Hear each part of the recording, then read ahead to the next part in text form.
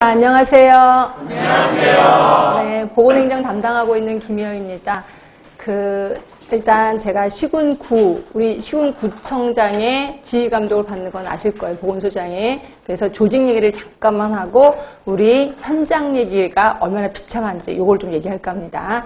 자, 우리 시군구청 안에는 국이 뭐, 뭐, 물론 다른 구마다 조금씩 다르긴 하는데 대부분 이렇게 있습니다. 안전행정국부터 교통건설국까지 다 국입니다. 국, 국장입니다. 근데 보건소만 소장이에요.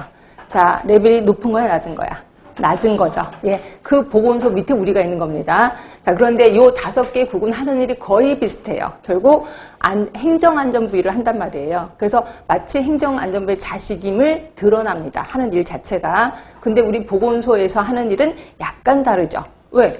보건에 관한 일을 한단 말이에요. 그러니까 물론 행정안전부이긴 하지만 행정안전부이긴 하지만 안전이 보건과 관련은 있지만 약간 핀트가 좀 다르거든요. 그러다 보니까 여기 있는 국장들이 어 보건소에서 하는 일은 좀 다른데 우리랑 좀 다른데 다른 인간들 아니야? 라고 취급을 하게 된다는 거죠. 결국 왕따 비슷하게 취급을 하는 거예요. 왕따. 자, 그럼 우리는 그러면 그 행정안전부 일만 하는 게 아니라 또 보건복지부 일도 하잖아요. 근데 우리는 굉장히 왕따를 당하면서도 양쪽 일을 다 하는 슈퍼맨 같은 사람이라고 생각하시면 돼요. 자, 자, 이런 상황에서 얘네들은 계속 왕따시키고 근데 제가 이랬잖아. 예산은 쉬운 구의 예산을 따야 된다. 이러다 보니까 얘네들이 자기 일 하기도 바빠 죽겠는데 돈 달라고 얘기하니까 돈 주긴 싫은 거예요. 그래서 우리를 왕따시키려고 하는데 그 왕따시키는 것 중에 하나 큰 게 이제 우리를 이제 무, 식하다고 이제 왕따를 시키는 거죠. 그래서 제가 현장에서 가장 들었던 한 맺힌 말 중에 하나가 아니 쟤는 유치원도 안 나왔어? 이렇게 얘기하는 거예요. 결국 유치원들도 다 아는 얘기를 쟤는 모른다는 거죠. 그러면서 하는 말이 보건소 식구들 다 그래 이렇게 표현하더라고요. 그래서 제가 얼마나 한이 맺혔으면 6개월 만에 보건소 근무한 지 6개월 만에 제가 석사 보건행정을 이제 들어가게 됩니다. 얼마나 한이 맺혀서 그렇겠습니까? 자 결국 제가 왜 이를, 이 얘기를 하냐면 여러분들이 정말 열심히 미친 듯이 공부를 했어. 뭐 1년, 2년 공부를 했어. 그래서 드디어 합격을 하고 내가 이제 보건소로 발령을 받았어. 첫날 빨간 카페트 깔아줄까요? 안 깔아줄까요? 안 깔아줍니다. 그렇죠? 어, 그게 잔인한 현실이라고 생각하시면 돼. 자, 그러면 제가 왜 이 얘기를 하느냐? 합격은 당연한 겁니다. 합격이 중요한 게 아니에요. 우리는 이미 합격할 거고요. 우리는 언젠가는 보건행정가가 될 겁니다. 그러면 이렇게 딱 정해져 있어. 언젠가 될 거야. 그러면 일단 스타트 할 때를 어때? 당당하게 해야 되겠죠. 예, 당당한 스타트를 해야 된다는 거예요. 근데 내가 겨우 합격했어. 그래서 소심한 자세로 스타트를 하면 걔네들이 엄청 많이 무시하고 무시를 당하는 거 알면서도 그냥 사회생활 또 하게 된다는 거죠. 그래서 저는 당당한 스타트를 좀 했으면 좋겠다. 이런 생각입니다 당당한 스타트.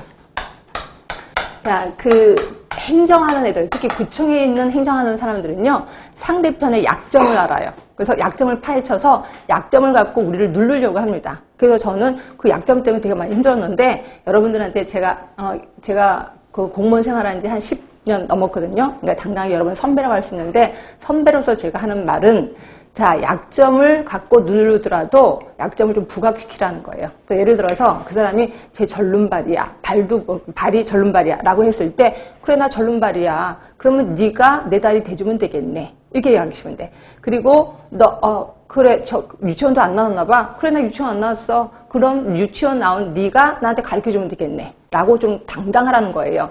자, 그런데 내가 아무런 지식도 없이 큰 소리 쳐. 그러면 그 사람들이 뭐라 그래요?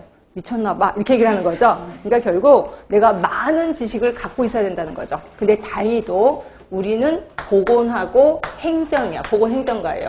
자, 행정은 우리가 걔네들한테 밀릴지도 몰라요. 그렇지만 우리는 보건이라는 걸 알고 있잖아요. 그래서 보건으로 밀으면 돼요. 그런데 문제는 우리는 보건도 모른다는 거야. 그치? 그래서 우리는 행정도 모르고 보건도 모른다는 거야. 그래서 제가 얘기합니다. 당당한 스타트를 위해서 지금 인간이기를 포기해라.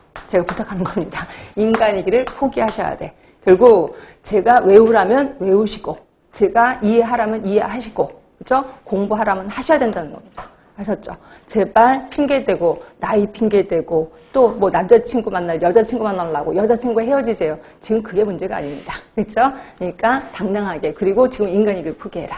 요것만 좀 기억하시면 되고요. 자 그러기 위해서 제가 여러분들 꼭 부탁하는 거 수업하는 도중에 첫 번째 맨날 주장하는 거 선이해. 먼저 이해를 하라는 거죠. 먼저 이해.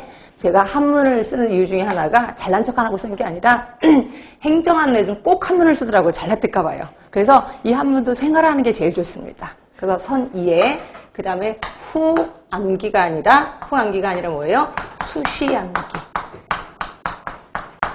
틈나는 대로 외우세요. 틈나는 대로. 근데 특히 낯선 단어들이 엄청 많아서 틈나는 대로 외우지 않으면 진짜 공부하기가 싫어진다라고 보시면 돼요. 수시로 암기를 해주시는 거고요.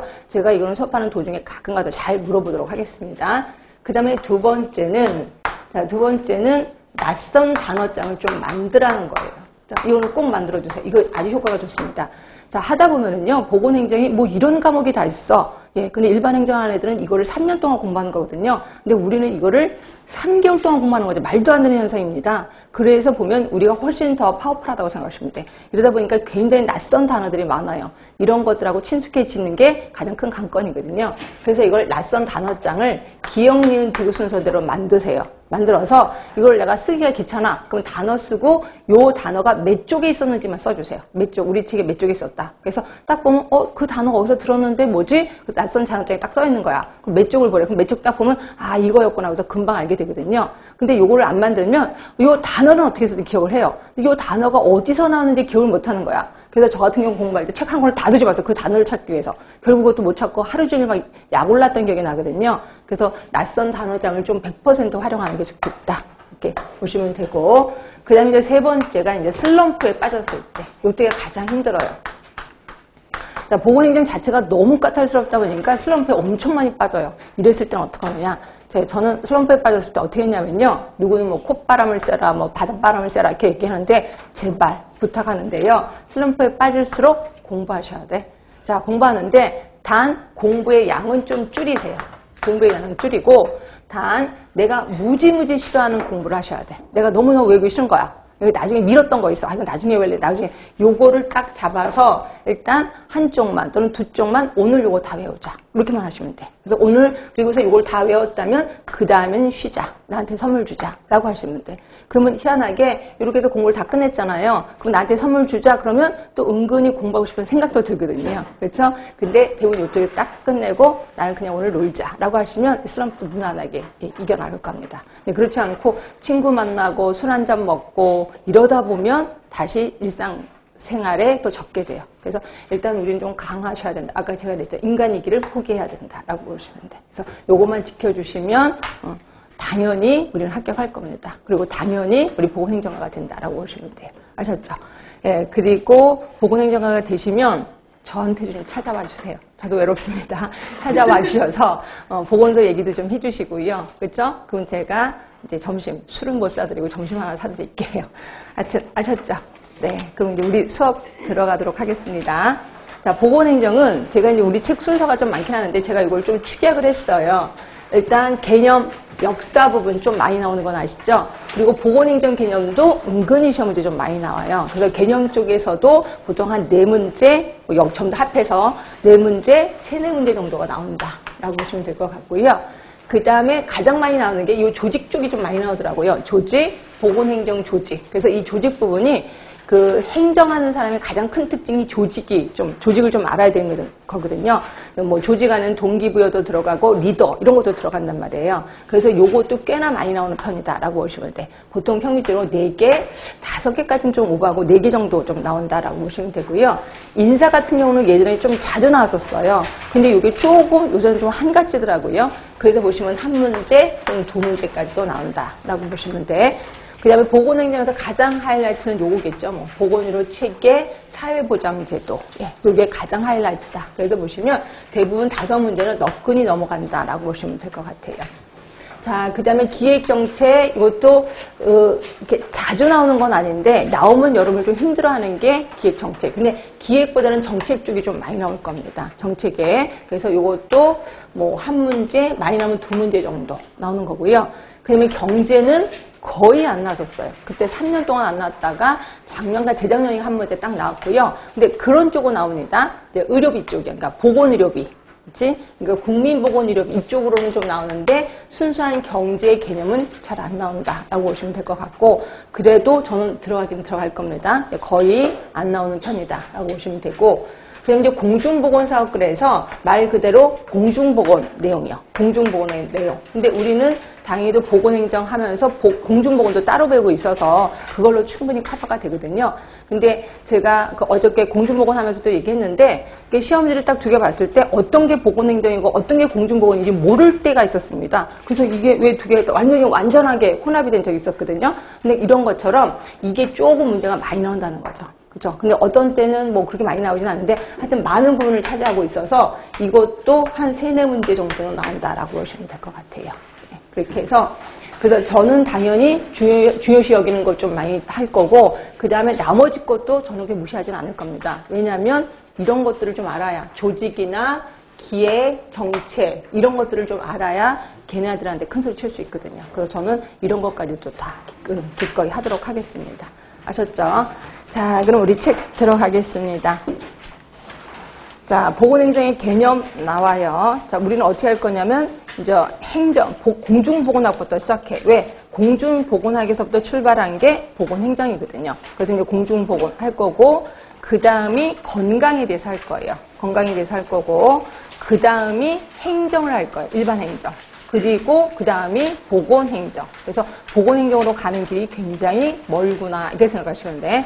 자, 제일 처음 스타트. 공중보건부터 하겠습니다. 근데 우리, 어, 아, 이걸 자꾸만 얘기하니까 동영상에서 뭐라 그러긴 하는데 하여튼 어저께 우리가 공중보건을 배웠단 말이에요. 그래서 공중보건을 배운 사람들이라면 이건 기본으로 알고 있어야 되기 때문에 한번 복습하고 책은 줄쳐드리도록 하겠습니다. 자, 어저께 우리 공중보건의 개념에 대해서 배우셨을 거예요. 공중보건의 개념 누구시죠? 어, 윈슬로우 학자가 자, 뭐 앞에 거는 그냥 그렇게 넘어가고 뒤에 무슨 적 무슨 적 무슨 적 신체적, 정신적, 사회적으로 안녕해야 된다. 그쵸? 맞아? 이건 WHO 건강의정이잖아. 그치? 그러면 공, 공중보건의 정의는 뭐였어, 너네? 신체적, 정신적, 효율. 그쵸? 효율입니다. 근데 그 앞에 뭐가 있었었냐면 조직적, 예? 지역사회 조직적 노력, 그러니까 지역사회 노력이었었습니다. 지역사회 노력을 통해서라고 표현했거든요. 근데 지역사회 노력이 다섯 개인가 있었을 겁니다. 그래서 다섯 개가 뭐였었냐면 환경, 그리고 전염병, 그 다음에 개인위생 교육, 그래서 병원에 갔겠지, 그쵸? 그래서 뭐 의료의 조직화, 간호, 봉사의 조직화, 마지막이 어, 사회제도의 개선. 그래서 요게 시험에 좀 많이 나온다라고 표현했고 이거는 공중보건이든 보건행정이 다 똑같이 자주 나옵니다. 그래서 요거를 통해서 어, 하는 거다. 그걸 우리 공중보건. 이거를 WHO가 채택을 했죠. 그쵸? 몇차 때? 25차 때 채택을 했구나. 그래서 요거까지도 좀 기억을 하시다라고 얘기를 했고요. 자, 그리고 또 하나, 하나만 더 할게요. 자, 어, 아스토니 제시한 공중보건 단계, 네 단계 있었었죠. 그죠? 아스토니 제시한 거 1단계, 2단계, 3단계, 4단계. 1단계는요? 산업보건의 시대. 그죠? 2단계가 개인 위생 중점 시기. 3단계가 치료의학 전성기. 예, 그 다음에 4단계가 신공중보건 시대. 그래서 이거는 제목만 제가 외우시라고 얘기했었을 겁니다. 자, 책 보겠습니다. 자, 윈슬로우 보시면 조직적인 지역사회 노력을 통해서 자, 밑에 아, 질병 예방 수명 연장. 이것도 좀 알고 계신 게 좋지. 그리고 신체적 정신적 효율을 증진시키는 기술이자 과학이다. 그러면 조직적인 지역사회 노력이 뭔데? 그래서 다섯 개 써놨습니다. 환경위생, 감염병 관리, 개인위생, 그다음에 질병의 조기 진단 및 치료를 위한 의료의 조직화야. 이거를 슬쩍 질병의 조기 진단 치료를 위한 간호의 조직하면 틀린 겁니다. 그렇죠? 의료의 조직하고 그럼 간호는 뭔데요? 봉사의 조직화예요. 그러니까 간호는 봉사를 하기 위한 조직하다라고 보시면 되고 그다음에 다섯 번째 보시면 모든 사람들이 자신의 건강 유지에 적합한 생활 수준을 보장받도록 사회 제도 개선. 그래서 이 다섯 개는 외우시는 게 좋다라고 표현했고요. 그거 말고도 여러 학자들이 얘기하고 있네요. 자, 동그라미 3번 디스렐리. 자, 디스렐리는 자, 공중보건에 관한 관심은 정책으로서 제일 중요한 임무이다. 어디서 봤던 기억이 나셔야 됩니다. 하여튼 이거 있고요. 그 다음에 WHO 25차 때 윈슬로 것을 채택을 했다. 그래서 다시 한번 거기 써 있으니까 보시면 되고 그 다음에 동그라미 7번에 보시면 아스톤이 제시한 공중보건 4단계 산업보건, 개인위생, 그 다음에 치료의학, 그 다음이 신공중보건 단계. 그래서 옆에 있는 거는 한번 좀 읽어보시면 될 것 같아서 이 정도로 넘어가겠습니다. 자, 그 다음에 어, 공중보건 사업의 내용, 이건 공중보건 사업 내용 뭐 어저께도 한번 봤던 기억이 나서 슬쩍 넘어가겠습니다. 아니면 한번 쭉 보시면 돼요. 그 다음에 공중보건 응용의학 그래서 아 이런 것들은 공중보건을 응용한 거구나. 자, 치료의학 있습니다. 근데 치료의학은 뭐라 그랬었어요? 소극적인 거다. 왜? 치료하는 거니까. 그러면 적극적인 게 있나요? 예, 그게 예방의학이야. 예방의학. 자, 그런데 비해서 재활의학은 후회하는 거잖아요. 그래서 이거를 사후적 의학이라고 하는 거고 반면에 건설의학 얘는 좀 중요하다고 표현했었을 겁니다. 자, 건설의학은 적극적인 의학이에요. 그러니까 적극적이라는 건 뭐예요? 건강을 찾으러 다니는 거죠. 그래서 질병 얘기가 아니라 최고 수준의 건강을 목표로 하는 게 건설의학이다. 라고 표현했었을 겁니다. 자, 그 다음에 그 밑에 체크포인트를 잠깐 보시면 자, 치료의학이라는 거는 의사들이 하는 거죠. 근데 의사들 중에서도 예방의학이 있단 말이에요. 자기네들도. 예방의학이 있고, 요게 우리 공중보건과 좀 비슷하긴 합니다. 그래서 공중보건, 예방의학, 치료의학을 좀 구분을 했는데, 이런 건 외우진 마시고요. 좀 감을 잡으시라고요. 자, 치료의학은 조기 진단, 조기 치료. 예, 맞아요. 그런데 예방의학은, 어, 생명연장 질병 예방 우리 아까 있었었잖아요. 그렇죠? 그리고 육체적 정신적 건강과 능률을 향상 똑같습니다. 이거는. 그치? 그다음에 책임의 소재를 보시면 공중보건은 국가 지역사회 그러나 예방의학은 각 개인 가정에게 책임이 있다라고 보시면 돼요. 자, 연구 대상 봤더니 음, 공중보건이 훨씬 폭이 넓죠. 지역사회 인류 쪽입니다. 그러나 예방의학이나 치료의학은 약간 개인적으로 가는구나 보시면 되고요. 자, 예방의학은 그래도 소극적인 거예요. 예방, 그러니까 물론 치료의학에 비하면 적극적인 거야. 그러나 공중보건에 비하면 소극적인 거다라고 보시면 돼. 왜? 그 병을 예방하는 거잖아요. 근데 우리는 질병 따위는 별 신경 안 쓰고 뭐요? 건강을 증진시키는 거잖아. 그래서 적극적인 연구 방법이 있다라고 보시면 되고요. 자, 내용을 보시면 거기 써 있습니다. 집단 건강의 향상이에요. 그죠? 그러나 예방의학은, 예방의학이나 치료의학은 조금 더 좀 스케일이 작구나, 이렇게 생각하시면 돼. 이런 걸 외우라는 건 절대 아닙니다. 한번 보시라고 제가 말씀드렸고요. 그 다음에 이제 공중보건의 정신, 그래서 자주, 자립, 자조, 협동. 자주, 자립, 자조야. 결국 그 지역사회 주민이 스스로 뭔가를 해야 된다는 거죠. 우리 공중보건이라고 얘기하시면 되고 결국 지역사회 주민들이 자, 기 스스로 서로 협동해서 그 다음에 건강을 찾아야 된다라고 생각하시면 됩니다. 자, 그래서 공중보건 사업의 최소 단위가 지역사회 주민이다라고 보시면 되고요. 자, 그래서 제가 공중보건이라기보다는 그치, 공중보건 자체가 뭐라 그랬었어요? 전체 국민이 대상이다. 라고 표현했었을 겁니다. 그리고 이거보다 지금은 뭘로 바뀌었다고요? 지역사회 보건으로 바뀌었다. 그래서 지금은 한 지역, 그 지역을 중심으로 사업을 합니다. 그래서 정확히 따지면 지역사회 보건의 최소 단위 이렇게 해야 되는 건데 아직까지 우리 책에서 계속 공중보건이라고 나오더라고요. 그러니까 여러분들은 공중보건이라고 하고 지역사회 보건이라고 해설을 하시는 게 좀 좋다라고 보시면 돼. 그래서 지역사회 보건 사업의 최소 단위는 지역사회 주민이에요. 그러면 지역사회가 도대체 뭔데요? 그건 좀 이따 할 거고요. 자, 12번 우리 어저께 통성명 하셨던 분 앤더슨 나옵니다. 자, 앤더슨 하면 요걸로 유명하다 그랬죠? 뭐 때문에 유명했었었냐면 어저께 배운 거 한 번만 복습할게요. 이거 나중에 또 나오긴 할 건데 앤더슨이 앤더슨 하면 생각나야 되는 게 꽤나 있는데 하나가 소, 가, 필요. 그래서 소인 요인 또 가능 요인 또 필요 요인 이 중에서 그 사람이 원래부터 갖고 있던 지식이 뭘까? 지식, 태도.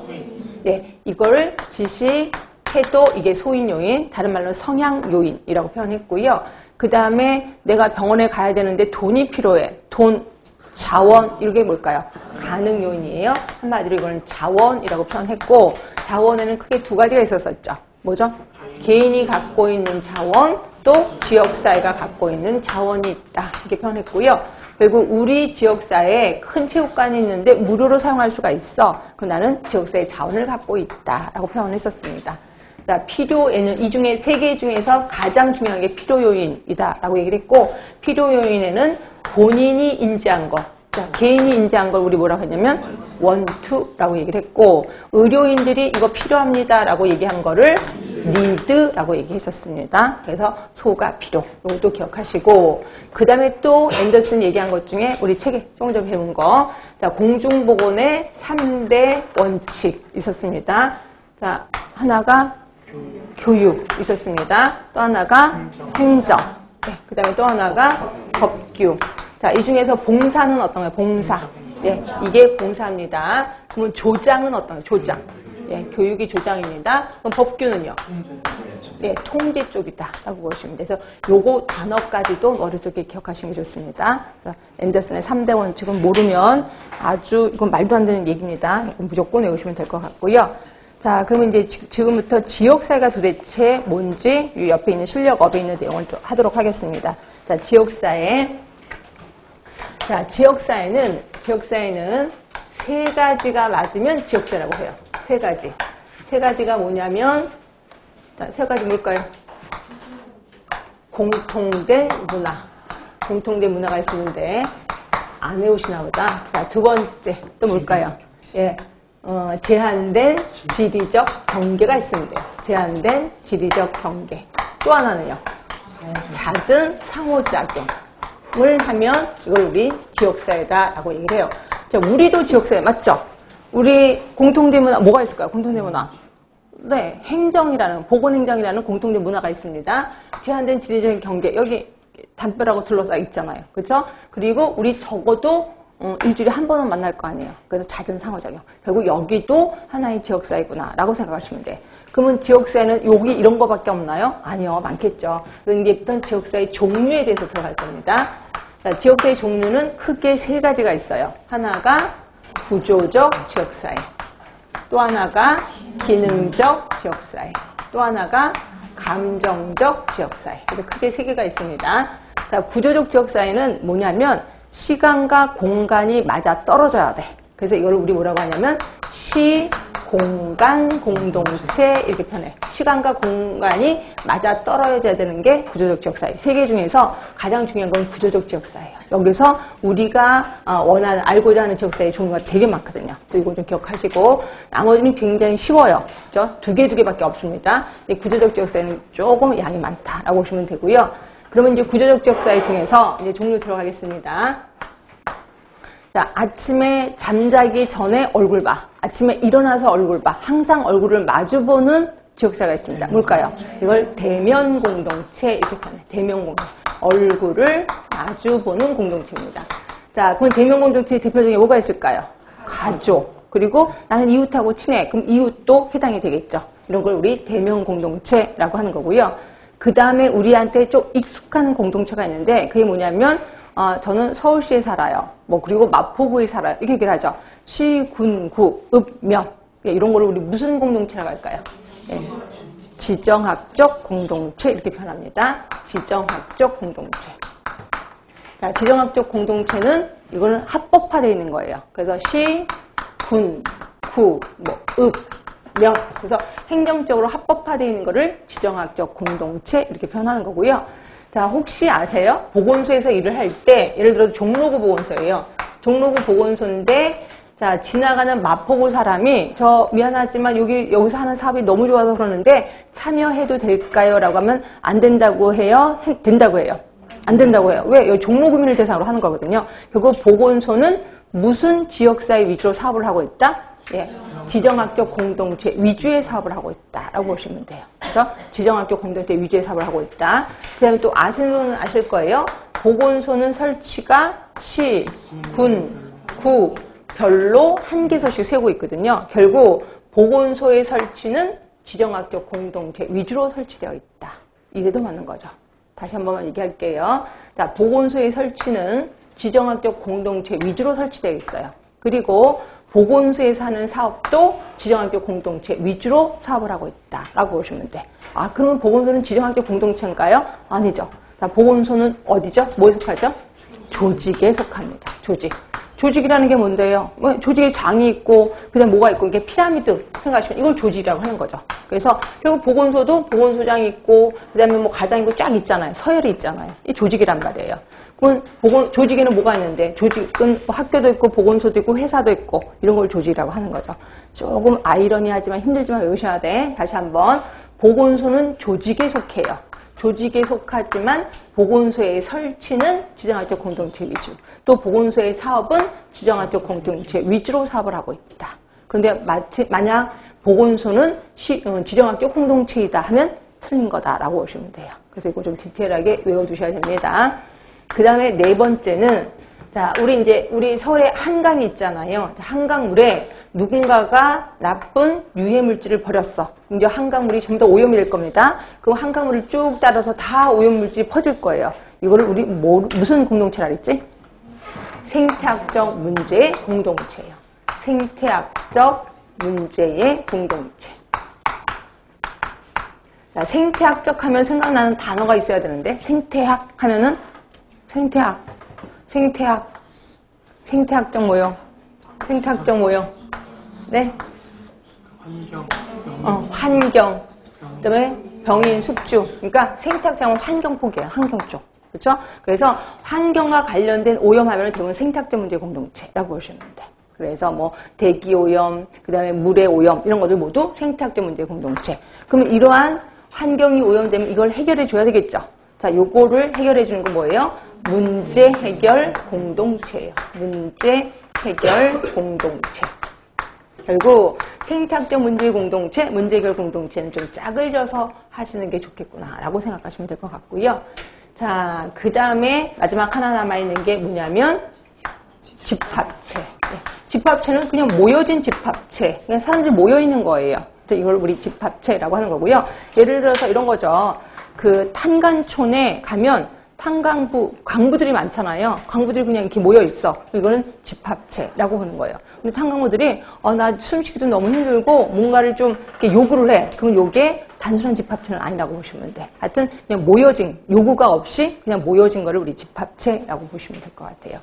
제가 그 해인 초등학교 해인사에서도 보건교사를 좀 했었었는데요. 거기서 한 2년간 보건교사 하다가 이제 서울로 올라올 일이 있어서 이제 올라오는데 그래서 이제 학생들한테 초등학생이잖아요. 그래서 전부 다 인사를 하고 이제 하나씩 끌어안고서 하는데 1학년짜리 남자애가 너무너무 서럽게 오는 거예요. 그래서 그래 선생님도 네가 보고 싶을 거야. 그래서 꼭 끌어안으니까 그게 아니고요. 선생님 이제 죽을 거잖아요. 막 이러는 거예요. 그래서 어, 네, 아니 선생님 왜 죽어? 그랬더니 서울에 가면 다 죽는다면서요. 막 이러는 거예요. 예, 시골 분들은 그렇게 가르쳐줘요. 가르쳐줘요. 서울에 가면 다 죽어. 그래서 코도 베어가 이러면서 서울 사람들은 다 썩은 음식만 먹어. 막 이렇게 얘기를 하더라고요. 근데 썩은 음식만 먹는 거 맞아요. 우리 고추 있잖아요. 고추.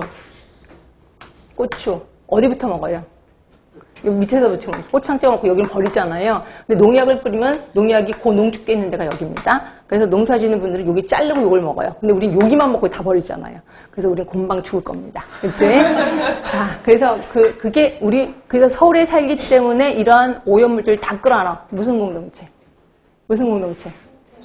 생태학적 문제의 공동체예요. 그렇지? 그겁니다. 자, 이렇게 해서 외워두시면 될 것 같고, 자, 이제 기능적 지역사에 들어가겠습니다. 자, 기능적 지역 사회는, 기능적 지역 사회는 요구가 같은 사람들끼리 모여. 그걸 우리 뭐라고 하냐면, 요구 공동체, 이렇게 표현해. 요구 공동체. 그러면 요구가 같은 사람의 그 요구를 해결하기 위해서 뭔가 자원을 묶어 놓을 거 아니에요. 그걸 우리 뭐라고 하냐면, 자원 공동체, 이렇게 표현해요. 자, 그럼 이게 좀 이상하지 않아요? 요구가 같아? 그리고 그걸 해결해 줘? 뭐랑 비슷해? 생태학적 문제하고 문제 해결이랑 비슷하지 않나요? 예, 비슷하긴 해요. 근데 이걸 굳이 나눈 이유는 예, 얘네 둘은 시공간 공동체야. 시간과 공간이 맞아 떨어져야 돼. 근데 얘네들은 시간과 공간이 맞아 떨어지지 않아도 돼. 그냥 요구만 같으면 돼. 그리고 요구를 해결해 주기 위해서 자원이 뭉쳐지기만 하면 돼. 그죠? 그럼 요구 공동체의 대표적인 거 뭐가 있냐면 촛불 시위요. 촛불 시위. 그래서 촛불 시위에 해당되는 사람이 뭐 지방 다 살고 그러는데 한 곳에 모여서 서로 요구하고 그걸로 끝나는 게 아니라 계속 요구를 하잖아요. 그래서 마치 시간 공간이 맞아 떨어지지 않아도 돼. 요구만 같으면 된다라고 보시면 돼. 이게 기능적 지역사회. 그다음에 이제 감정적 지역사회도 역시 쉬워요. 이거는 감정적인 거거든요. 자, 우리 뭐 우리 아빠 같은 경우는 목요일마다 낚시를 가요. 또는 일요일마다 등산을 갑니다. 그러면 이렇게 목요일마다 낚시 가는 거, 또 일요일마다 등산하는 걸 우리 뭐라고 하냐면 특수 흥미 공동체 이렇게. 그러니까 흥미가 같은 사람들끼리 모인 거죠. 특수 흥미 공동체. 자, 그 다음에, 뭐, 나는 서울 사람이야. 또 어떤 경우는 어느, 어느 대학, 뭐, 대학 동창생들의 모임. 이거 우리 뭐라고 하냐면, 예? 어, 소속 공동체라고 하는 겁니다. 소속 공동체. 그래서 나는 서울 사람이고, 나는 뭐, 어느 지방 사람이 같은 고향 사람. 이런 걸 우리 소속 공동체 이렇게 표현해서, 구기감 중에서 제일 중요한 건 구조적인 겁니다. 나머지는 아 이런 게 있구나 이렇게만 넘어가시면 될 것 같아요. 자 이건 요거 갖고 줄치겠습니다. 자 거기 맨 위에 보시면 지역사회 정의 그래서 문화적인 동질성 그래서 제가 공통된 문화라고 표현했고요. 두 번째는 잦은 사회적 상호작용 그리고 세 번째는 제한된 지리적인 경계 이거 우리 지역사회라고 하는 거고요. 자 2번 지역사회 분류입니다. 1번에 구조적 지역사회 그리고 동그라미 2번에 기능적 지역사회. 동그라미 3번에 감정적 지역사회. 자, 근데 구조적 지역사회는 시간, 공간이 똑같아야 돼. 그래서 이걸 시공간 공동체라고 하는 거고요. 거기에 집합체, 대명 공동체, 생탁적 문제 공동체, 지정학적 공동체, 조직, 문제 해결 공동체. 그래서 모두 여섯 개가 있습니다. 이 중에서 시험 문제 좀 나오는 거는 지정학적 공동체가 좀 많이 나옵니다. 그러니까 보건소 때문에 여기 좀 많이 나오는 것 같아요. 기억하시고 그럼 여기 여섯 개 중에서 우리한테 가장 친근한 지역사회가 어떤 거게요? 가장 친근한 거. 네, 대명 공동체 같잖아. 아니에요. 대명 공동체는 자기네들끼리 친한 거예요. 근데 우리들 보통 사람들이 친한 거는 지정학적 공동체야. 너 어디서 왔어? 그럼 저 마포에서 왔어요. 우리, 우리 엄마한테 왔어. 이런 말 안 하잖아요. 그래서 우리한테 익숙한 건 지정학적 공동체예요. 그런데 구성원들끼리 친한 거는 대명 공동체. 그래서 그런 것들도 말 갖고 장난놀이 있으니까 정확히 알고 계시면 될 것 같고. 그 다음에 이제 기능적 지역사입니다. 특정한 목적의 성취를 위해서 모여진 공동체야. 그래서 요구 공동체입니다. 요구 공동체는 요구와 같은 사람들끼리 모여진 거라고 얘기를 했고요. 거기다 하나 쓰세요. 촛불 시위. 그래서 우리나라는 요구 공동체가 좀 강하다라고 보시면 될 것 같아요. 그 다음에 자원 공동체는 그 문제를 해결하기 위해서 자원의 활용 범위로 모인 집단. 예. 그 다음에 감정적인 겁니다. 공통의 연고, 공통의 관심으로 모인 공동체야. 그래서 소속 공동체, 특수흥미 공동체가 있다라고 보시면 돼요. 그래서 대부분 구조적 지역사회를 좀 머릿속에 기억하시는 게 좀 좋습니다. 자, 그러면 이러한 지역사회는 도대체 무슨 기능을 하는데, 그래서 이제 지역사회 기능이 나옵니다. 모두 다섯 개거든요. 자, 경제적 기능, 사회화 기능, 사회 통제 기능, 사회 통합 기능, 상부상조 기능. 그러면 시험 문제는 어, 지역사회 기능으로 올바른 건 뭐냐? 그래서 제목을 외울까요? 아니요. 이건 제목을 외우지 마시고요. 어떻게 대부분 문제가 나오냐면 어떤 상황을 제시해요. 그리고 이거는 지역사회 무슨 기능이냐 이런 식으로 나옵니다. 결국 짝짓기를 좀 잘하시면 된다. 뜻풀이를 잘하시면 된다라고 보시면 되고 일단 경제적 기능은 그거지 뭐 그 지역사에서 돈을 위해서 경제를 위해서 뭔가 노력을 하는 거겠죠. 그래서 하는 게 특산품을 개발해. 그죠? 또는 요새는 뭐 우리 마을로 놀러 오세요 이런 말 많이 하잖아요. 네, 특구 이런 거 만들고 이런 거 우리 경제적 기능이라고 한다. 그럼 이제 사회화 기능입니다. 사회화 기능은 지역 사회가 공유하는 어떤 지식이 있어. 또는 어떤 행동들이 있어. 그거를 새로 창출도 하고 유지도 하고 다음 세에 전달도 한다는 거죠. 대표적인 게 뭐냐면 사투리 같은 거예요. 사투리. 제가 그 해인초등학교에서 이제 이랬다 했잖아요. 해인초등학교에서 있으면 우리는 부끄럽다는 말을 많이 써요. 창피하다는 말을 많이 써요.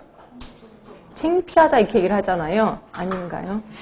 어떤 분이 부끄럽다 해서 물어봤더니 진주에 사신다 그래서 아 그렇구나. 진주 분들은요. 진주나 해인사 쪽에서는 부끄럽다는 말을 많이 쓰더라고요. 그래서 조그만 1학년짜리가 아이 부끄러워. 그럼 되게 웃기잖아요. 얘 뭐가 부끄러운 게 아니야. 창피한 거에 대했더니 어, 선생님이 이상해 뭐 이러더라고요. 거기서는 부끄럽다는 말을, 말을 써요. 근데 하여튼 그런 거죠. 하여튼 이렇게 그 지역에 가면 그 지역만의 어떤 단어들이 있단 말이에요. 그런 거를 우리는 사회화 기능이라고 보는 거고요. 그런 게 사회 통제 기능이에요. 사회 통제 기능은 법은 아니야. 법은 아닌데 사회의 규범을 순응하게 하는 기능이야. 이게 뭔 소리냐면 우리 지나가다가 어, 담배 피우고 싶은데 불이 없어. 그렇다고 지나가는 할아버지한테 할아버지 담배불 좀 빌립시다. 돼요 안 돼요? 안 되는 거지. 이게 사회 통제 기능이에요. 어디 함부로 어른한테 담배불을 빌려달래? 그래서 난리를 치는 거죠. 근데 여러분 느낌의 사회 통제 기능 지금 있어 없어? 거의 없죠. 그래서 지나가다가 중학생인 거 분명히 아는데 담배 피우고 있어. 그럼 담배 피냐고 뭐라 그래요? 눈 마주칠까봐 얼른 고개 돌려요. 네, 고개 얼른 돌리잖아. 그래서 지금 사회통제 기능이 조금 없어졌다라고 보시면 되고요. 그 다음에 사회통합 기능, 이것도 요새는 좀 강해진 것 같아요. 그래서 우리 지역에 있으면 안 되는 원전이 생긴대, 또는 쓰레기 하치장이 생긴대, 그럼 전부 나가서 데모하잖아. 있으면 안 돼. 라고 서로 통합해서 힘을 발휘하고 있습니다. 이걸 사회통합 기능이고요. 자, 상부상조 기능은 이런 거지 뭐. 우리 뒷집에 할머니가 돌아가셨어. 그럼 이제 하- 우리 엄마가 밤새 가서 일을 도와드리죠. 이걸 상부상조 기능이라고 해요. 그래서 뜻풀이만 잘하시면 될 것 같아. 자 결국 지역사회 종류에서는 구조적 지역사회만 좀 기억을 해주는 게 좋겠다. 제가 부탁드립니다. 자 뒤로 갈게요. 이렇게 해서 우리 어, 공중보건적은 좀 끝이 났고요. 건강으로 들어가겠습니다. 자 건강하면 우리 뭐 갖고 있는 지식도 있어서 한번 실력 발휘 한번 해보고 책 들어가겠습니다. 자, 건강에 정의하면 제일 처음 WHO 기억하셔야 되겠죠. WHO의 건강의 정의는 연속이야, 불연속이야. 불연속입니다. 자, 불연속이라는 거는 동적이라는 거예요, 정적이라는 거예요. 예, 정적인 개념이라는 거. 그죠? 자, 무슨 적, 무슨 적? 신체적, 정신적, 사회적. 자, 신체적인 거는 무슨 개념? 심신 개념. 정- 아, 신체 개념. 죄송해요. 신체 개념. 그리고 여기에 정신 하나 더 붙어서 심신 개념. 그리고 여기에 사회적인 게 하나 더 붙어서 생활 개념이라고 얘기를 했습니다. 그리고 어, 마지막에 WHO에서 하나가 더 들어갔었는데 인준이 안 됐었던 거. 그러나 기출문제에서는 인준된 것처럼 보이는 거 영적 개념 얘기했었습니다. 그 다음에 어, 또 시험 문제는 안 나오지만 하나 더 가르쳐 드린다면 생활 개념이 뭘로 바뀐 것 같다? 생활 수단 개념으로 바뀔 것 같다. 예, 생활 수, 수단 개념이라는 건 뭐예요? well balanced life. 그러니까 내가 병을 갖고 있지만 어, 균형을 잘 맞아. 균형, 균형을 잘 유지해. 나는 건강한 거다라고 보시면 돼. 그래서 점점 생활수단 개념으로 나아가고 있다라고 보시면 되고 시험 문제 한 번도 나온 적은 없습니다. 근데 혹시라도 생활 개념 다음에 무슨 개념이냐? 근데 보기 중에 영적 개념이 슬쩍 빠졌어. 그럼 이게 있어. 그럼 이걸 답으로 쓰시라는 거죠. 근데 그동안의 기출 문제는 거기에 영적 개념이 있었거든요. 그럼 답을 영적 개념으로 하실 수밖에 없습니다. 그래서 이건 새로운 개념이니까 좀 하나 알아두시는 게 좋아. 생활수단 개념. 자, 이게 WHO 건강의 정의입니다. 자, 그 다음에 여러 학자들이 또 건강의 정의에 대해서 쭉 얘기를 했거든요. 누구 기억나시죠? 누구? 어, 라론드 기억하신대요. 어, 제일 큰 사람 기억하시네요. 자, 라론드 건강에 저- 영향을 미치는 거 네 개 얘기했죠. 가장 큰 것부터 얘기할까요? 생활 습관. 그 다음이 환경. 하고 인체 생리. 인체 생리를 똑같이 봤죠. 그렇죠? 똑같이 보고 그다음에 마지막이 보건의료 시스템. 보건의료 서비스. 보건의료 서비스를 봤습니다. 자, 그 다음에 또 누구 생각나세요? 아, 버나드. 버나드 있습니다. 버나드 하면은 항상성, 내부 환경, 외부 환경의 항상성을 유지해야 된다. 라고 봤고요. 그 다음에 W 시리즈. 아, 던, 아, 반항하는데? 네, W 시리즈 하니까 반항하는데? 야, 던, 던 하면은 뭐 생각나세요? 자, 이쪽으로 갈수록 건강, 이쪽으로 갈수록 불건강. 결국 연속 개념을 제시한 겁니다. 연속 개념이고 또 동적인 개념을 제시하는 사람. 결국 WHO의 반기를 들었던 사람이라고 보시면 될 것 같고요. 자, 이젠 얘기하겠죠. W 시리즈. 예. 왈츠, 왈스, 왈스, 뭐. 예? 어, 주어진 환경에 기능을 잘 발휘하면 돼. 기능. 그 다음에 또 윌son. 윌son도 있었었죠. 윌son이 뭐예요? 응? 응? 조, 주관적? 좋아? 주관적? 주관적 건강? 아, 우리 W에서 다 망가지는데? 그냥 또 한 사람 있었는데, W? 예, 윌리. 뭐 있었었죠? 잘 적응하는 거. 적응하는 거. 이 윌슨만 지금 못하고 있습니다. 윌슨만. 그치? 자, 이건 나중에 책 보고 또 확인합시다. 자, 그 다음이 또 뭐 생각나세요? 응? 시저리스트. 시저리스트. 자, 뭐죠? 시저리스트가? 어, 조화와 화? 맞아? 조화와 화? 그런 것 같아? 일단 다시 한번 확인합니다. 자, 우리 이제 무너지고 있습니다, 점점. 자, 보겠습니다. 학자, 아, 밑에 건강의 정의부터, 맨 위에부터 WHO입니다. 건강이란 단순히 질병이 없거나 허약하지 않은 상태를 뜻하는 것이 아니라 신체, 정신, 사회적인 안녕이 활발히, 활발한 상태에 놓여 있는 것. 그래서 신체적 안녕 얘기를 했고 정신적 안녕도 여기 써 있고 사회적 안녕도 어, 거기 써 있을 겁니다. 한 번쯤은 읽어보세요. 자, 비판 보시면 너무 이상적이라는 거죠. 왜? 이렇게 안녕해야 된다는데 그 성취하기 어렵잖아. 너무 이상적인 거 아니야? 라고 보는 거고, 그리고 정적인 가정으로 표현했다는 거. 다시 말해서 정적인 가정은 불연속 개념으로 표현했다는 거. 그리고 완전한 안녕은 측정하기가 곤란하잖아요. 예. 그러니까 너 이런 것 면에서 비판을 받고 있다. 자, 그 다음에 학자들의 건강의 개념입니다. 왈스. 자, 기능을 발휘하는 거야. 왈스. 어떻게 외우지? 왈츠, 왈츠, 왈츠를 잘 쳐. 그럼 기능을 잘하는 거잖아. 하여튼 그렇게도 외우시면 돼. 그 다음에 버나드. 항상성입니다. 내부 한글, 외부 한글 항상성. 아, 실리를 안 했네. 실리는 스트레스라는 말을 한 사람이죠. 그래서 우리 맨날 툭 하면 스트레스 쌓여 이러는데 이 스트레스라는 말을 최초로 사용한 사람이 실리예요. 그래서 항상 스트레스라는 말이 나오면 실리. 그 다음에 던입니다. 건강, 불건강, 연소성 개념 제시하는 사람이고 자 라논도 하면 4개. 환경, 생활 방식, 인간 생물학, 보건의료 체계. 근데 우리는 이거 우선순위도 결정했습니다. 그래서 생활 방식이 제일 큰 거고 그 다음에 나머지 두 개 환경, 인간 생물학은 똑같은 거고 보건의료 체계가 제일 우선순위가 떨어진다라고 얘기를 했고요. 자, B번에 보시면 세 번째 줄이에요. 무엇보다도 신선한 것은 생활 방식이 건강을 결정하는 요인 중 하나라고 명시한 거다. 자, 결국 생활 방식은 뭐냐면 라이프 스타일. 그래서 요것 때문에 이분을 뭐라고 얘기하냐면 건강 증진의 원형으로 간주하고 있다는 거죠. 건강 증진이라는 개념 기억하시나요? 우리 보건행정에서는 양대 산맥, 공중보건 마찬가지야. 양대 산맥이 있습니다. 양대 산맥이 뭐였었는지 기억하세요? 하나가 1차 보건의료, 또 하나가 건강 증진 있습니다. 그래서 건강 증진의 원형이 라논드라는 거예요. 무슨 말을 했길래? 무슨 말을 했길래?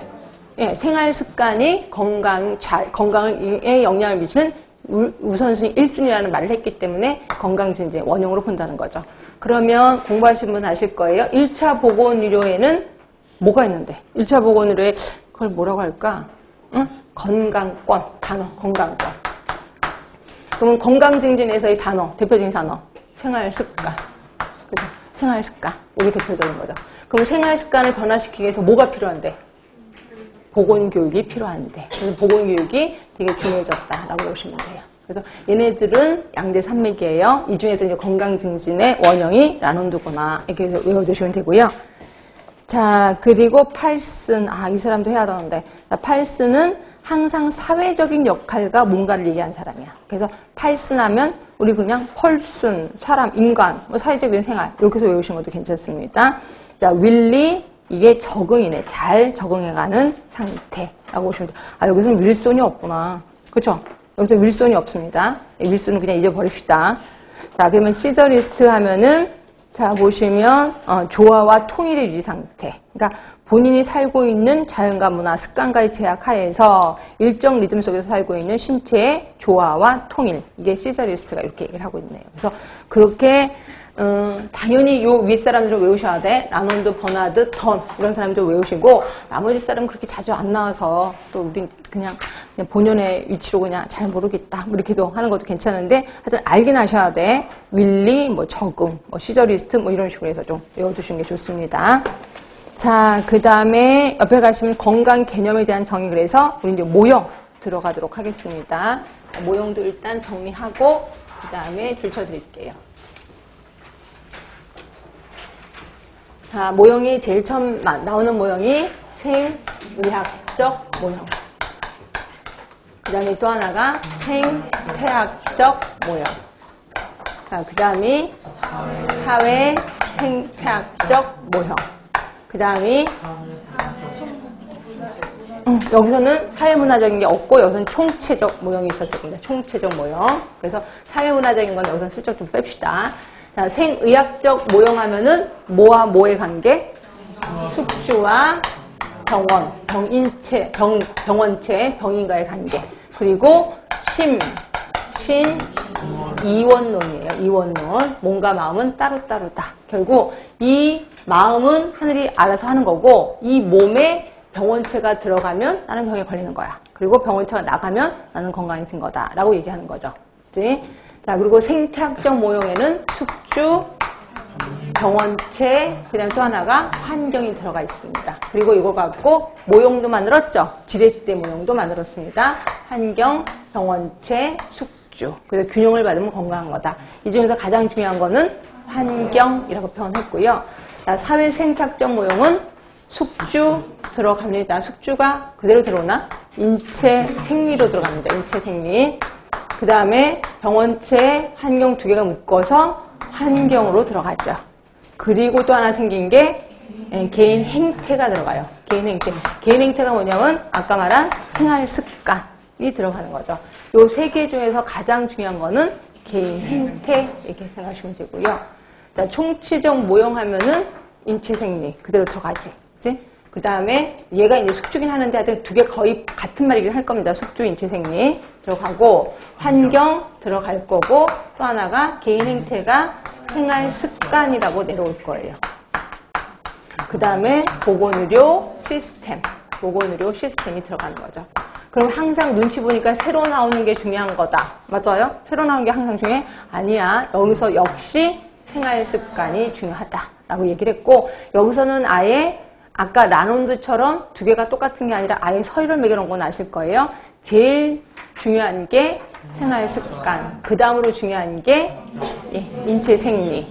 그 다음이 환경. 그 다음에 네 번째가 보너 시스템. 그래서 총체적 모형은 라논드랑 거의 비슷하긴 하는데 우선순위가 좀 다르구나. 이렇게 생각하시면 돼요. 그래서 네 가지 모형 배웠고요. 여기 조금 더 깊이 들어갈 거예요. 그래서 이제 줄 치면서 공부할게요. 자, 보시면 생의학적 모형입니다. 자, 정신과 육체를 분리하는 예, 거기 심신 이원론에서 또 출발을 한다. 이렇게 얘기를 했고요. 요거는 파스테르와 코에 의해서 확립이 됐다. 있죠? 파스테르는 누구였고 코우는 누구였더라? 코우가 예, 균을 발견한 사람. 파스테르는 백신을 개발한 사람. 이 중에서 현대의학의 아버지가 누구였었더라? 파스테르. 그러면 코우는요? 근대의학의 아버지. 예. B번입니다. 육체를 기계나 부품처럼 생각해서 질병은 이 기계가 고장난 거예요. 그럼 의사는요? 그냥 기술자예요. 그냥 나사만 몇 개 바꿔주면 돼요. 그죠?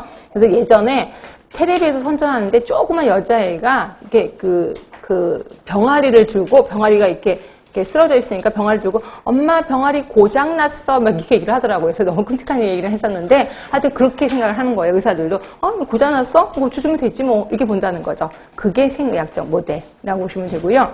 그리고 10번 보시면 이때는 특정 병인론의 원칙이야. 특정 병인론이라는 건 뭐냐면 특정한 균이 들어와 그럼 나는 그 병에 걸려. 예를 들어서 결핵균이 들어와 그럼 나 뭐 걸리죠? 결핵에 걸려요. 신기하지 않아요? 결핵균이 들어오면 콜레라에 걸릴 수도 있잖아요. 아니야? 근데 하여튼 그렇대. 특이해. 그래서 이거를 특정 병인론이라고 하는 거야. 그 균이 들어가면 그 병에 걸린다는 거죠. 하여튼 그런 거고요. 그 다음에 2번 F번을 묶으세요. 2번 F번 묶어서 이건 단점이에요. 생리학적 모형의 단점. 그런데 비해서 G번 H번을 묶어서 이거는 장점이에요. 장점. 자, 그러면 장점부터 볼게요. 자, 급성 감염성 질환, 응급 질환 처치에 딱 좋은 게 생리학적 모델. 예, 그것 때문에 인간의 수명이 연장이 됐죠. 특히 인공장기 이식 수술, 항생제 개발 이런 걸로 인간의 수명이 연장이 된 거고요. 자, 그런데 비해서 단점입니다. 단점은 만성태행성 질환의 증가를 정확히 설명하지 못했어. 왜? 만성태행성 질환은 세균이 없어도 병이 생기는 거거든요. 이런 거 설명을 못했고요. 자, F번에 보시면 기술적인 어, 개인의 장점이 과대해져서 결국 의학이 기술 만능주의에 빠지는 결과를 초래했다는 거죠. 결국 병원에 가면 의사들이 내 얼굴 알아요, 몰라요? 몰라요. 그런데 내 상처를 보면 아, 이 사람이구나라고 알게 된다는 거죠. 결국 인간관계가 싹 없어진 거예요. 네, 이런 것 때문에 이런 현상이 일어났다라고 보시면 되고요. 예전에 제가 자주 하는 예를 들어서 첫날이니까 예를 들을게요. 인공장기 이식 수술 왜 해요? 장기 이식 왜 해요? 오래 살라고. 그렇지? 오래 살라고 해요. 그럼 장기 이식 누구 거 해요? 누구 거? 죽은 사람 거. 그래서 죽은 사람 거 하는데 죽은 사람 그래서 제가 예전에도 그랬을 거예요. 장기 이식 하고 돌아가시라고요. 장기 이식 그 서양 서명하고 근데 하여튼 근데 좀 끔찍하긴 합니다. 장기 이식에서 서명을 하잖아요. 그러면 그분이 돌아가셨다 의식이 없다고 각 병원 다 연락이 갑니다. 그러면 대부분 간호사들이 장기 가지러 가거든요. 간호사들이 그 병, 그 병원 바깥에 이분이 돌아가시길 잘 기다리고 있어요. 한 여섯 명, 열 명이 쭉 기다려. 아직 안 돌아가셨나? 근데 대부분 돌아갈 때 밤에 돌아가시잖아요. 새벽에. 새벽까지 계속 있는 거예요. 막 하품하고, 아, 빨리 왜 안 돌아가실지. 빨리 가져가야 되는데, 가져갈 수, 막 갈 수는 없잖아요. 그러다가 딱 돌아가셨다 삑 소리 나면 바로 들어갑니다. 바로 들어가서 파내고 다 파내는 거죠. 눈 파, 파내거나, 그 다음에 이거저거 다 파내면, 특히 장기 같은 경우, 간, 장, 이런 거 없으면 배가 쏙 들어가는 거 아시죠? 눈을 파가면 어떻게 되는지 아세요? 눈을 파가면 이렇게 하는 게 이렇게 감기는 게 아니라 눈 아래 워낙 그 속에 있는 구멍이 크니까 쏙 들어갑니다. 그리고 구멍이 뻥 뚫립니다. 그럼 거기에 뭔가 메꿔주는 거, 안 메꿔주지 않습니다. 그냥 내버려 둬요. 그래서 딱 가져가고 한열 사람 정도 가져가면 딱 보면 와 진짜 껍데기밖에 안 남습니다. 너무 끔찍한 게 요건데 하여튼 이렇게 장기식이 그렇게 흔하진 않아요. 그래서 그 다음에 하는 게 뭐냐면 어 인간의 몸이 그렇게 힘들어? 그래서 하는 게 뭐예요? 돼지. 그래서 돼지를 멸근 돼지를 키우는 거예요. 그래서 내가 오줌보가 좀 안 좋아? 그럼 돼지 오줌보를 가져다가 하는 거죠. 이러다 보니까 내가 인간인데 돼지 몸이야? 인간의 몸이야? 이게 헷갈린단 말이에요. 그래서 최종적으로 만든 게 뭐예요? 복제잖아요, 복제. 그래서 인간을 복제하는 거죠. 근데 복제를 했어. 그럼 얘는 내 자식이에요? 내 쌍둥이 형제예요? 쌍둥이 형제예요. 그럼 얘를 복제하는 이유는 내 장기가 필요해서. 그러면 장기를 뜨면 얘는 어떻게 돼요? 죽어요. 그럼 이건 또 인간, 인간이잖아. 얘도 인간. 인권 유린에서 또 난리 치는 거죠. 아니, 얘도 인간인데 너무한 거 아니야? 그래? 그럼 얘도 인간이야? 그럼 인간의 정의야, 정의가 뭐야? 여기까지 나왔습니다. 그래서 최종적인 인간의 정의가 뭐냐면, 브레인의 무게래요. 그러니까 뇌의 무게. 그러니까 뇌의 무게가 몇 그램 이상이면 인간이라고 하자라고 제정을 한 거예요. 그랬더니 이제 학자들이 아 그러면 뇌를 처음부터 없는 인간을 만들면 되겠네. 그래서 문외아를 만들기 시작합니다. 지금 그래서 문해아를 만드는데 도중에 자꾸 죽어나간대요. 그래서 아직 성공을 못했습니다. 그래서 만약에 문해아를 복제인 걸 만든다면 난리가 날 겁니다. 하여튼 그런 현상이 좀 일어나고요. 그래서 굉장히 무서운 일이 많이 벌어집니다. 하나만 더 얘기하면 자 요거 있습니다. 자 내가 어, 결혼했는데 아기를 못 가져요. 그러니까 자궁이 망가졌어요. 그럼 어떻게 할까요? 돈 많은 사람들은 어, 대리모 또는 뭐 시험관 아기 뭐 이런 것도 합니다. 근데 시험관 아기는 자궁이 멀쩡했을 때 시험관 아기를 하는 겁니다. 내 자궁이 망가졌어. 근데 대리모를 하는 거죠. 그리고 대리모는 자기의 난자가 없는 거예요. 그러니까 엄마의 난자, 아빠의 정자 수정란을 그 대리모 뱃속에 집어만 넣는 거예요. 그죠? 그랬는데 그래서 이제 미국에서는 그 대리모의 조건이 굉장히 까탈스러운 건 아시죠? 얼굴도 예뻐야 되고 아, 왜 얼굴이 예뻐야 되는지 모르겠어. 얼굴도 예뻐야 되고 그 다음에 자태도 조금 이렇게 이렇게 막 천하지 않아야 돼. 그지? 그래서 고급스러워야 되고 그래서 이렇게 해서 대리모가 되면 이 사람 직장도 얻어주고 집도 얻어주고요. 굉장히 돈을 많이 준대요. 이걸로. 이러다 보니까 대리모들이 등 따시고 배부르니까 딴 생각을 하게 된 거예요. 그래서 미국의 어떤 대리모가 뱃속의 얘기는 내 얘기다 이렇게 주장하기 시작해요. 그러면서 이제 재판까지 간 거예요. 재판까지 가니까 재판 결과가 어떻게 나왔는지 아세요 혹시? 대리모가 이겼어요. 말도 안 되게. 그러니까 이 부모들 기가 막히게 자기 애인데 대리모가 가져가 버린 거예요. 그렇다고 대리모가 그 애를 잘 키우느냐. 그게 아니죠. 얘를 팔아먹는 거죠. 예. 그런 일이 벌어지니까 기가 막힌 거예요. 그래서 그것 때문에 안 되겠네, 대리모. 그러면 어떻게 할까? 아, 그러면 꼭 어, 대리모여야 되나? 그럼 이건 어때요? 친정엄마 뱃속은 어때요? 시어머니 뱃속은 어때요? 여기까지 나왔습니다. 근데 생각해보세요. 시어머니가 얘기를 하면 내 얘기야. 이게 시동네 이게 헷갈리잖아요. 요건 좀 아니죠? 라고 했더니 아 그래요? 그럼 꼭 인간의 뱃속이어야 돼요? 여기까지 나왔습니다. 그래서 지금 현재 오랑우탄 뱃속에 인간의 얘기가 들어가 있다는 것만 알고 계시면 돼요. 근데 자꾸 얘기가 죽어나간대요. 근데 만약 그걸 성공을 하면 우리는 언젠가는 오랑우탕의 산장관리까지도 해줘야 된다라고 보시면 아주 무서운 일이 벌어지는 게 무슨 모형 때문이야? 생의학적 모형 때문에 그렇다라고 보시면 되고요. 자, 그 다음에 자 생태학으로 갑니다. 지렛대 모형입니다. 숙주, 그다음 C, B번에 보이시죠? 숙주, C번에 병원체, D번에 환경. 그런데 A번에 보세요. A번의 두 번째 줄입니다. 이 세 가지 요소 중에 가장 중요한 거는 환경적 요소라고 하였다. 예, 아까 이미 말씀드렸고 그러나 이거에 단점이 있습니다. A, B, C, D 2번에 보시면 동그라미 2번 비감염성 질환을 설명하지 못했다. 아, 얘도 비감염성 질환을 설명하지 못했구나. 그 다음에 사회 생태학적 모형입니다. 사회생태학적 모형의 A번 보시면 특히 개인의 행태적인 측면을 강조하고 있다. 이걸 중요시 했다는 거죠. 뭐가 있는데 B번의 숙주, 그 다음에 어, C번의 외부 환경, 그 다음에 D번의 개인 행태. 예, 그래서 이거 좀 얘기하고 있고 그 다음에 총체적 모형이 있습니다. 총체적 모형. 총체적 모형은 자, 건강에 영향을 미치는 모든 요인을 고려해서 총체적으로 관리할 때 효율적이고 효과적인 건강 관리를 할 수 있다는 모형이에요. 자, B번, 어, 이거 읽으면서 무슨 생각 나야 되는데, 건강과 질병을 단순히 이분론적으로 파악하지 않고, 자, 건강과 질병의 정도에 따라 연속 손상이 있는 것으로 파악했다. 누구죠? 던. 아, 던의 입장을 따랐구나. 이렇게 생각하시면 되고요.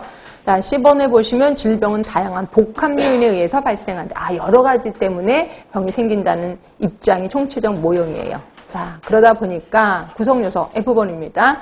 환경, 생활 습관, 인체 생리, 보건의료 시스템. 이 중에서 가장 중요한 거는 생활 습관이라고 얘기를 했습니다. 자, 그 다음에 옆에 체크 포인트 잠깐 보시면 이건 아까 한 거기 때문에 19세기 이전에는 신체 개념이에요. 신체 개념일 때는 심신 이원론이지. 심신 이원론. 그래서 몸이 건강해야 돼. 신체 개념. 그런데 그래서 심신 개념은 몸과 마음은 하나다. 심신 이론론입니다. 그래서 심신 개념이고 여기 하나가 더 들어간 게 사회적인 측면. 그래서 생활 개념이 됐다. 그래서 이왕 외우는 거 사- 화살표 화살표에서 외우셔야 돼. 신체, 심신, 생활. 그 다음에 제가 처음에 얘기한 것처럼 요게 하나 더 집어넣는다면 영적인 개념을 집어넣을 수도 있고 또 하나가 생활수단 개념도 집어넣을 수 있다라고 보시면 될 것 같아요. 예, 이렇게 해서 우리 건강에 대해서 얼추 얘기를 했고요. 조금 쉬셨다가 이제 건강권 들어가겠습니다.